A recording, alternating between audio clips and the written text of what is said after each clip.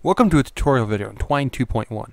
In this video I'm going to cover different ways of doing transitions and different approaches to doing animations within Twine.1 using Harlowe 2.0. So within Harlowe there, there's a macro called transition that naturally handles different versions of transitions for how hooks appear. Its options are kind of limited though, so right now the options are pulse, dissolve, and shutter. So let's show an example here of pulse we see the, the word pulse, pulsed. Uh, and then we can change the normal time, which is 0.8 seconds, uh, using transition time. Notice the hyphen between them. And we add it to transition, just like we were chaining different macros together. And I'll show you when we get back to the source here. But we can create a longer pulse. Longer pulse, pulse, pulse, pulse. And it finally stops. But like I said, using transition and transition time doesn't give us a lot of options. We have pulse, we have dissolve, and we have shutter, and uh, that's kind of it at the moment. So there might be a way to approach transitions and animations using different versions of timing. We see counting down from 2, 1, 0, rockets away. So starting with Twine 2.0. There was also the introduction of the live and the stop macros to create timed loops. And as you'll see when I come back to the code, we can combine those with some variables to allow us to do loops, do times within those loops, and then stop them based on different conditions using live and stop. So okay, so we have transition, if we want pulse or shutter or dissolve, as well as we have some different ways of creating timed loops using live and stop. What if we wanted timing and movement? How would we go about that? So using the previous timing loops, as well as with the CSS macro, we can move things using their CSS position over time. And you notice the word moving is moving until it's done. And so that cycle of timed loops stopped. You can also make it infinite if you want, uh, depending on how you change the numbers. But as you can see, and I'll jump back to this so we can run it again, moving moves. Using timed loops, as well as with the CSS macro. And it'll make a little more sense when we look at the code here in a moment. And we can move things, creating an animation effect of something moving over time using the timed loops. What if we wanted different colors and things? Well, we could also do that in Twine using CSS or text styles or a number of different approaches to that, background, color macros. But we can also do animations using CSS3, using keyframes. Now this is a little more complicated and it's not as well supported in different browsers, but if we want to, we can use keyframes within CSS3, and I'll show the code to do this, to create animations of different CSS effects. And in this case, we see it sort of fading between different colors here. We have red, and we have a yellow, and we have red, and it's fading back and forth based on a timing here. So in the same way we created timing loops within Twine, we can create timing loops within CSS. But again, it's not as well supported, so you sort of have to take that into consideration but you, where you're using that. However, we can put all of these things together if we want. We can use CSS3 keyframes. We can use the timing loop and the, the moving. And we can have something that both has animation based on CSS3 as well as has a moving based on the timed loops and the CSS macro. And here's an example of that. Something is moving and animating. So it's changing color as well as moving, changing, moving, changing, moving, changing. And stop. And it's done.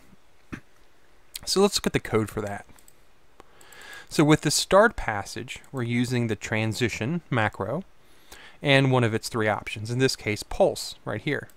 So we have transition, the word pulse for that type of transition, and then a hook, and then some type of content within that hook. In this case, the content within the hook is the word pulse, and we pulse pulsed. We also change the transition time using the transition time macro added to the transition macro, just like we would normally chain other macros. And so we have transition pulse plus transition hyphen time, changed it to 5 seconds instead of the normal 0.8. And then we saw the transition with a, had a longer pulse. We changed the timing of the pulse transition. Moving over to the timing passage, we see the use of live and stop macros. So the very first thing we're doing is setting some type of value we're going to check. In this case, stop cycle to 4. We say live 1 second, and so this loops every 1 second. And the very next thing we do within that is we check to see if stop cycle is 0. This allows us to, and in this case we want to, stop the timed cycle when it reaches a certain number or under a certain condition. In this case, if stop cycle is ever zero. So it starts at four, goes into the loop, and if it ever becomes zero, show rockets away and stop. And when the stop macro is inside a live macro, it kills all of it, stops the timing.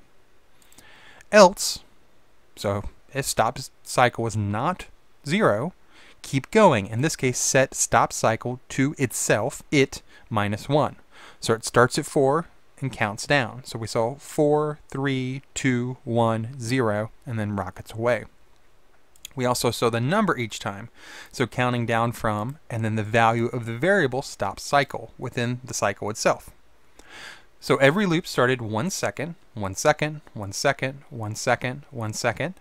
Within those, it checked to see if stop cycle was ever zero, and if it was, it went ahead and stopped everything and showed rockets away.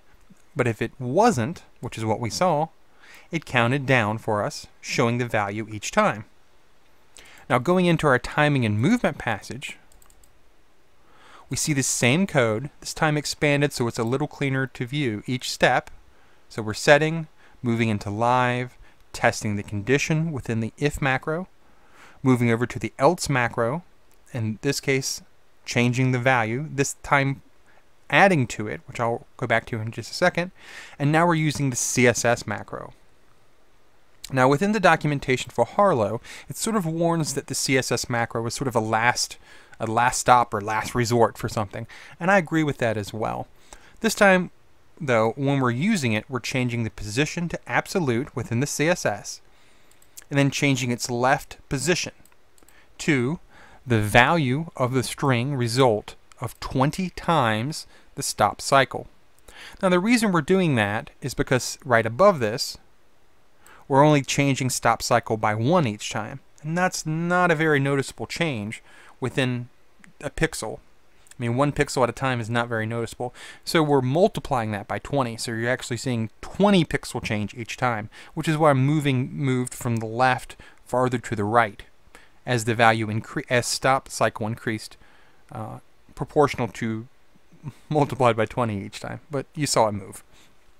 And of course, we're setting pixel as, as the unit. So position absolute, and then left as it starts, starts at 0, immediately moves to 1, and then we have 20, 40, 80, etc., up to a total of 10. And so it moves 20 pixels at a time from left to right, because we're increasing the value of the left here, from left to right, moving 20 pixels at a time.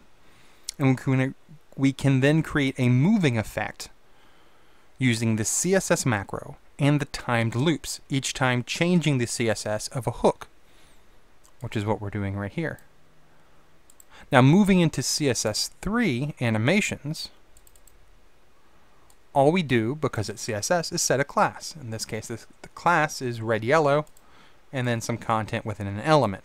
Now let's go look at the CSS.